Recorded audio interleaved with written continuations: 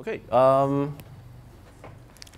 so this presentation is about how I left my word processor and embraced AsciiDoc. Um, this presentation was done in AsciiDoc, rendered to HTML, and displayed on Firefox. Okay. Um, so who am I? Um, I was a developer for 12-ish years, um, doing a range of stuff from mobile to embedded to cloud to, I don't know, desktop, I guess. Um, and now I'm a consultant at Red Hat Services. Um, I, I work on uh, cloud, OpenStack, cloud management, uh, and deploying this for Red Hat's customers, right? But that's all about me. My next slide is about question, right? Who thinks documentation is really important to a project? I expect everyone to raise their hands, right? Okay. Um, whether it's configuring a HTTP server, whether it's uh, looking up your function calls in Python, or even setting up your own cloud in OpenStack. Without documentation, you're pretty much stuck, right? Um, there's, well, there's, there's thoughts. You could make your API discoverable. You could make your code uh, easy to read. But at the end of the day, when things go wrong, you look at documentation. Who likes writing documentation?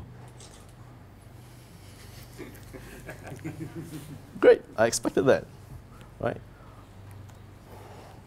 But we must write. We must write. If we don't write, well, I really like this quote. Um, Nick Coghlan is a, a, core member of the Python uh, Software Foundation. He's also a Red Hatter. So this quote is, unless your UI discoverability is really good, saying the feature isn't documented is the same as saying the product can't do it. Right, so um,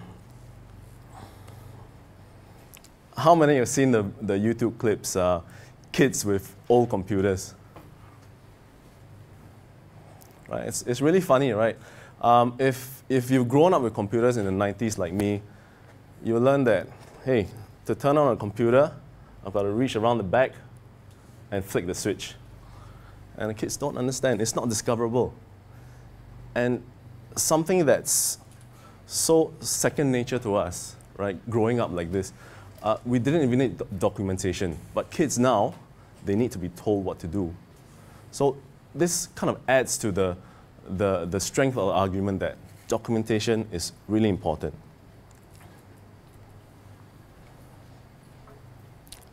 Writing is hard.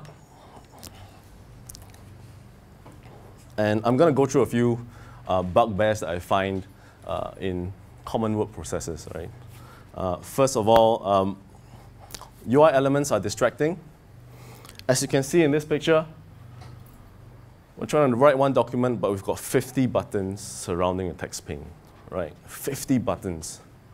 I don't know about you, but when I start my word processor, the first thing I look at is, hmm, what font size do I want this to be?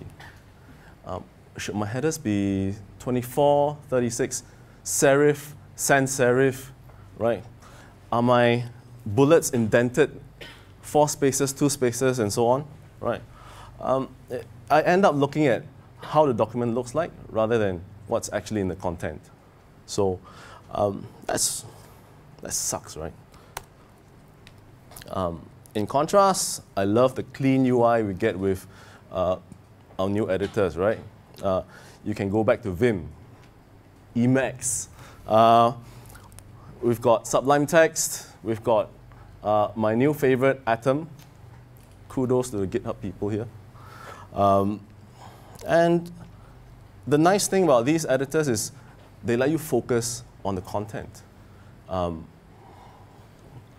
there's, a, there's a common sort of uh, UI language here where uh, the main content is in the application. You can make it full screen and focus just on your text and nothing else.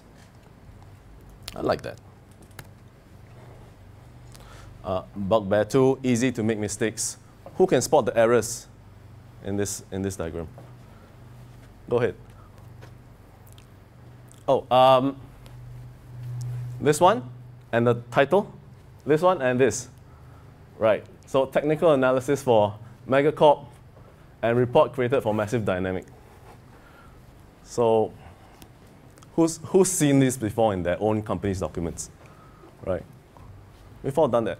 We've seen it, we've probably done it before, right? Um, and even the title of the document is yet another company.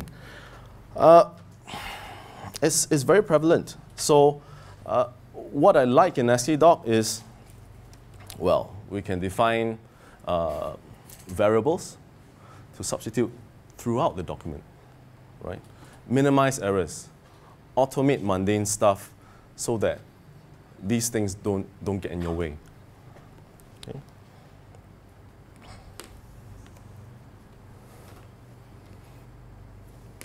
The next thing is outdated references, right?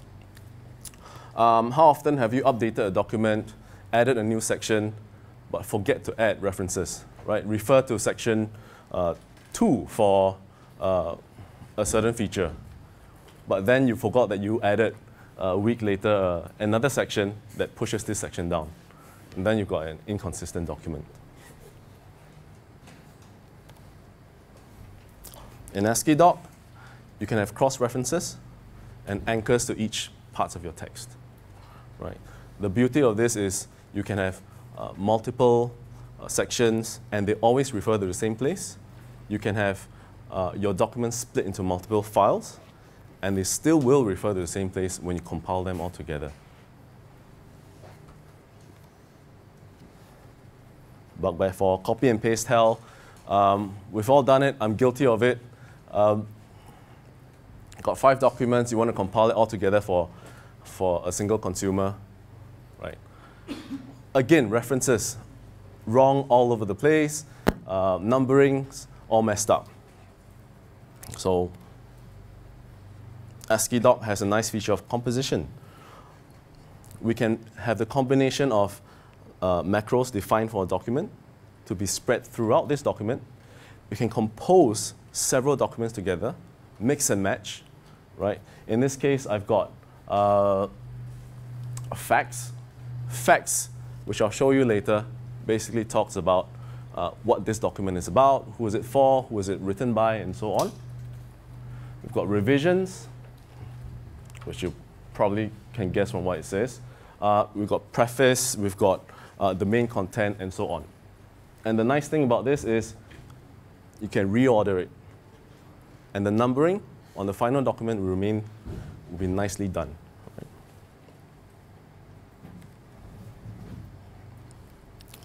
Another thing I like about AsciiDoc is uh, repeatability and customization.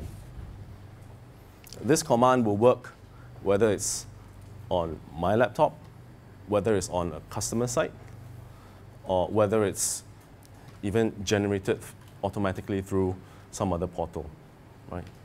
Um, I think I see at least one of you in the audience who's, who's seen an example of uh, a cu customer documentation written in AsciiDoc and created using a makefile, right? Um, again, this is an, another example of changing branding depending on who your target audience is. You might want to have a different logo, right? And all you need to do is change the template, right? And of course, in, in my case, I, I made this presentation in AsciiDoc and I compiled it to a presentation. Okay. So this is the part where I demo. Let's go to here.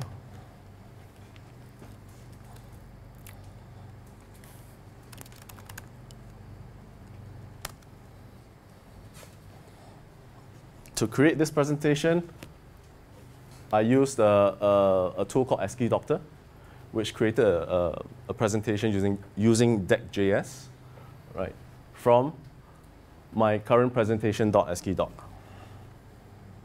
You for bigger? Oh, sorry. Better? Okay. So just a simple command line. for the tool, as I mentioned earlier, I'm using uh, the Atom editor. Uh, it's got a very nice uh, plugin for AsciiDoc preview.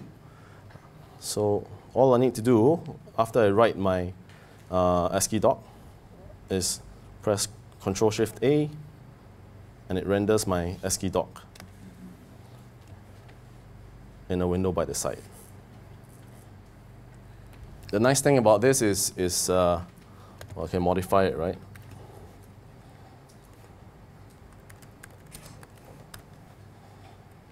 And it's, it's dynamic.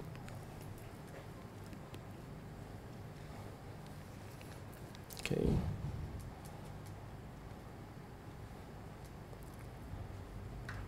So I've got macros as well.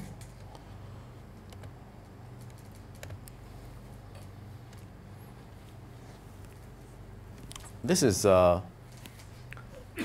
a larger example. It's actually taken from one- of my projects. Um, I mentioned just now that there's a fax document for, for every document I generate, right? Um, in, in this case here, I have subject, description, author, email, and so on, right? And the nice thing is I can define my source highlighter, right, through, uh, through this tag here. And I can say the style, right, what color scheme and so on.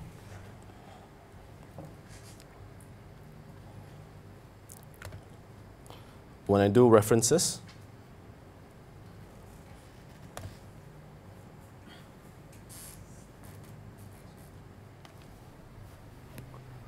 this importing that tag on line 50, that's an example of an anchor. And how I get to the anchor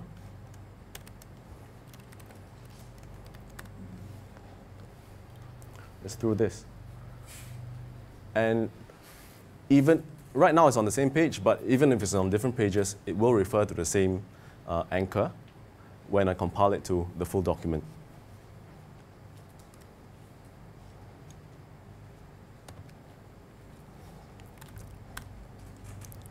So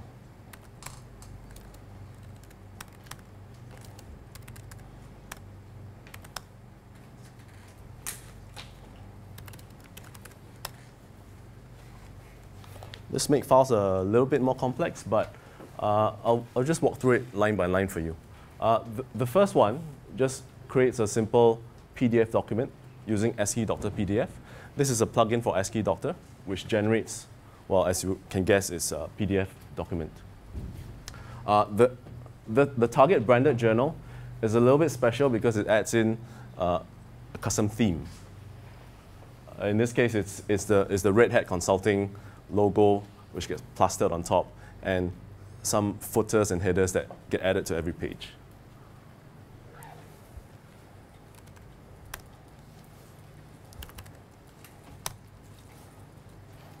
So I've, I'm making the plain document now.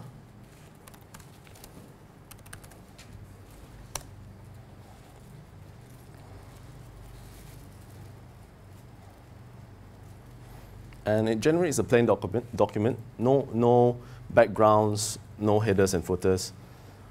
And we've got very nicely generated table of contents, all clickable in a PDF. And we can even go back to that link I was talking about.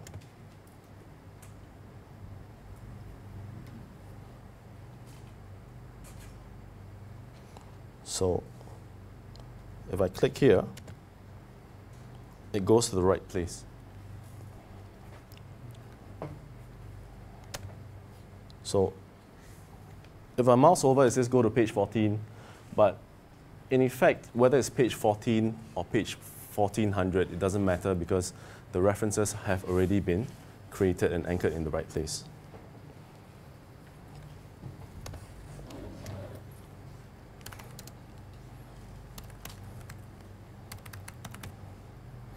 So I'm making the next target now, which is branded journal.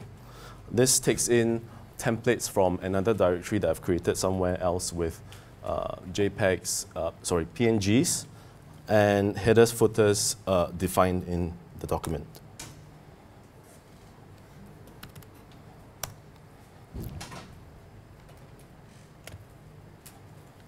Now it comes out with a very nice professional looking header. You can see the fonts have changed a bit from uh, serif to sans serif. It's a bit smaller, it looks, just looks cleaner now, right? And all this was done without any change in the source uh, text. It was, just a, it was just a different direction to uh, style sheets.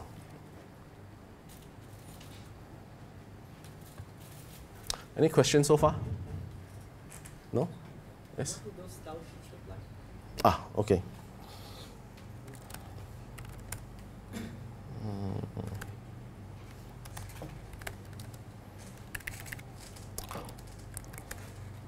So it's a YAML file.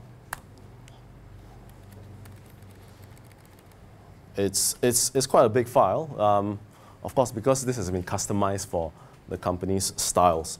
Uh, but of, if you were to start from scratch, I advise uh, to go with a few, figure out how they work out, or even uh, find some from the web and, and copy and customize them.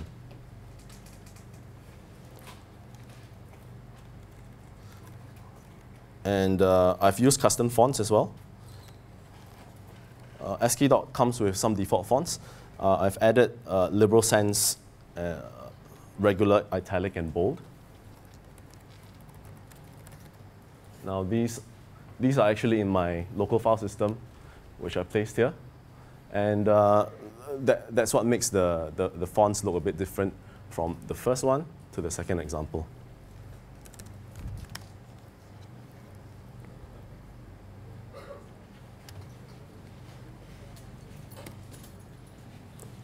Okay, so um, I've got a few links. Uh, there, there's actually some books written in ASCII.IM published on, on O'Reilly. O'Reilly does have uh, a portal dedicated to uh, using a, a, couple of uh, text-based formats to publish their books, AsciiDoc being one of them, Markdown being another. Um, and the nice thing about the first link is it's actually, uh, it's not going anywhere. It's, it's actually, uh, the source is all, all on GitHub. So you can actually see how this guy wrote his book uh, in AsciiDoc.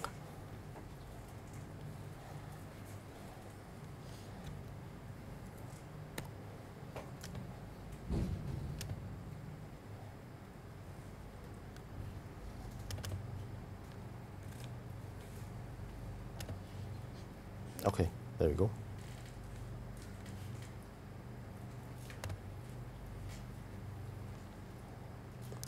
Internet's a bit slow, so I'm not going to go through with this.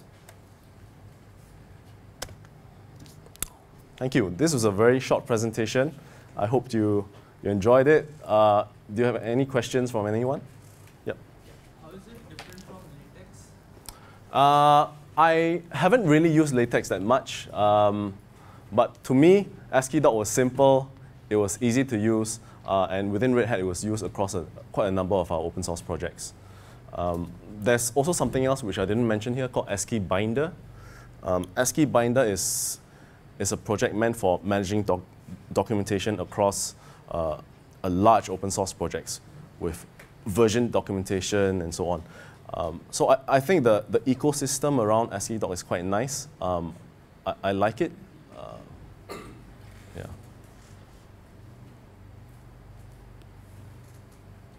Anything? Not just a sort of another markup system. In fact, it's got a quite a much higher target yes. than something like Markdown, which is just a bare minimum. You're at nine features or four features. Uh, Markdown is really, I mean, Markdown, AsciiDoc, these are the, the, the class of, lang of uh, markups that uh, are e kind of like email friendly, right? email inspired. yeah, email inspired. Where Markdown is, what's the smallest thing we can do with exactly. nine or ten features? AsciiDoc is like, okay, how do we make books? Yeah. and, and Markdown, one of the things I that that distanced me from Markdown in, in the beginning was Markdown doesn't do tables uh, in, in the standard Markdown. Um, there's GitHub flavored tables, there's nice other flavors. standards. The thing is, all the markdowns we keep using and seeing, they all get extenders. Like we have tables, we have, we have include, Exactly. we have dynamic stuff with expandable sections, and it's a very rich markdown by Yeah. the time we're done. Well, we, we don't make it, but we we've been looking for things for documentation. Yeah, And I was asked, I was told to look at AsciiDoc, and one thing that made me not do anything was it's going to be hard to make it dynamic. We have a we have a unique problem. We Mm. actually have to support multiple different languages as an API from the same API source. Do you mean I18N? Hmm? I18N or programming languages? Programming language. Okay, okay. So there's from there's a C API, C++ plus API, JavaScript API, but it all comes from the same class set, the same APIs. So they share some documentation, but Right. other bits are language specific. And I have yet to find any documentation thing that works this way. We have to have a little drop down menu say, I want to be in C mode because I'm a C developer. I don't care about the JavaScript stuff. And it'll hide that and show the right things. I so had that- not found it. That comes up in, I don't know, so that's the question, but it comes up in a number of tools that are presenting APIs in browsers where you're, yeah, you're going through documentation. Yeah, but everyone's written something in a browser like a backend PHP Yeah. or whatever, I don't know, to do that and generate it. There isn't like a standardized tool. That, so so that feels like a gap that someone should fill. 'Cause that's yeah, we're, we, thing- we're gonna have to fill it ourselves like everyone else. And especially with network APIs, because you Mm. can be absolutely certain that the other end of the call will be ten different languages. So it's a, yeah. But then that, well, that's I'd argue that that's kind of a parallel discussion because um, that's code documentation, and then there's other types of docu- documentation where it's it's further I don't know. Um, in, in this case, what, what I have is customer documentation where it talks about uh, the overall use cases and and it's there's less code involved. Sure, but what Yeah. the things we're documentation is documenting is API for programmers. Yeah. But it's available in N languages. And Yeah. since it shares a lot, you don't want to rewrite all of it. So- you so want that- to have that the shared and the language specifics. So that feels like you, you, the solution is going to be something like a means of uh, marking a block as belonging to a particular case. We're, Why we're, don't you do we're literally basically creating our own documentation system just to solve it, so we haven't found a solution. No We're generating Markdown, and then we're having a whole wiki actually do the rest of it from there. Oh, cool.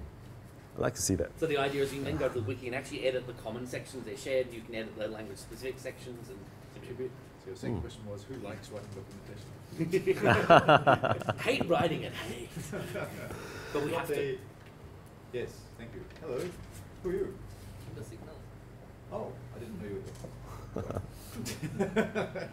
um, uh, so yes, as our Sigma points out, we have about five minutes, which means we can continue with the, with the discussion. But is Yeah. Michael Cannon in the room? Yes. Can Michael- Is Michael Cannon in the room? Uh, Lev is back here. I don't know where he went. We might have quite a bit more than five minutes. Um, continue. It's more than Yeah, yeah, yeah. he's not here, so Okay. I mean, let's you're going to write the API document or some kind of reference document. So is there a kind we can extract uh, uh, content from source code or go through the command and extract these SQL code? You'd have to write your own tool. Yeah, there's Doxygen is Yeah. well, pretty much Yeah. the tool for that, Yeah. but it has big downsides as well. We've been using it for years, and we've hit the point at which we're kind of too big, and we didn't spend enough time really maintaining it. So now the mess is so big. Literally, we do make doc, and it takes us about one to two minutes for Mhm. documentation to generate. So I remember spending a day or two trying to fix our documentation. I gave up. It Was the cycle of well, does this actually make sure that this section is actually linked in? I've got a link and I can find it. It took me so long to figure it out. I gave up and threw my hands in the air and didn't bother anymore. So, but Doxygen is the only one for that. And you pretty much want to be writing it from the day you start writing your code. It's comments in code, and it's Yeah. just C, C++ mostly. I, I used Doc, Doxygen Yeah. quite many quite many years ago. Um, it, it worked until I guess the, the scale, right? Yeah. It's a scale problem. At a certain point, when you get big or complex, and then you don't really look after it for a while, it becomes a big hairy ball of mess to fix up again. Mm. Um, Does anyone have any suggestions or anything?